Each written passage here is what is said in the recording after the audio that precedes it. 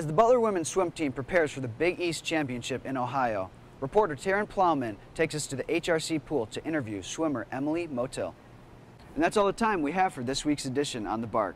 Tune in next week as we sit down with baseball player Tyler Houston and reporter Zach Horrell gets a crash course in lacrosse. Now that we have taken you all across campus, let's focus our attention to Varsity Field, where Bark reporter Keelan Martin has the latest from the most recent women's lacrosse game. The Butler University men's tennis team started their 2018 season with a rocky start. Their first three matches resulted in the Bulldogs having a 1 and 2 record. Since then, Butler has moved their record to 5 and 2. The last three matches, the Bulldogs defeated the University of Indianapolis, Youngstown State University, and the Valparaiso University Crusaders.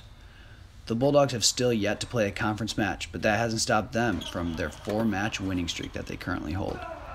The Dogs are traveling to West Lafayette, Indiana this Saturday, February 24th at 9 a.m. They will be taking on the University of Wisconsin Green Bay Flash the Phoenix, who have a record of 1 and 4 this season and will be stepping onto the court with a three-match losing streak. They were defeated by the University of Wisconsin, Marquette University, and Northern Illinois University. Come out and support your dogs to hopefully get their fifth straight win in a row against the University of Wisconsin Green the Butler University men's tennis team had some big matches last week in Orlando, Florida.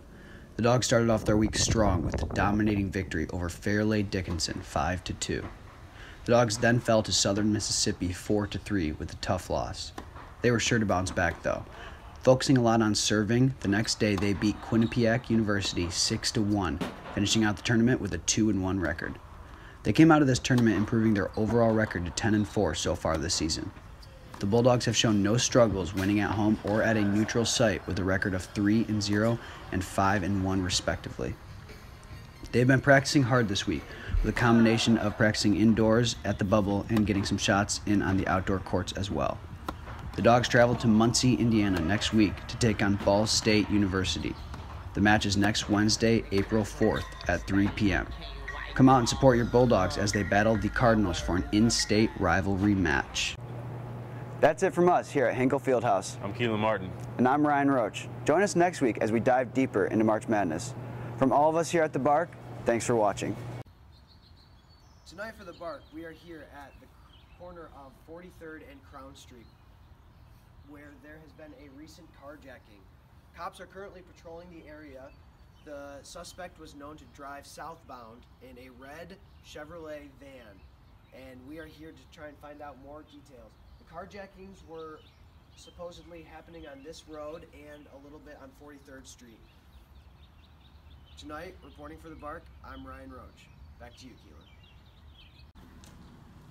Tonight, we are here on Butler University's campus, where this is the last week before finals start here. If you are stressed at all, check out the Butler Connection if you're a Butler student. There are many de-stressing activities that you can partake in, such as petting dogs and yoga.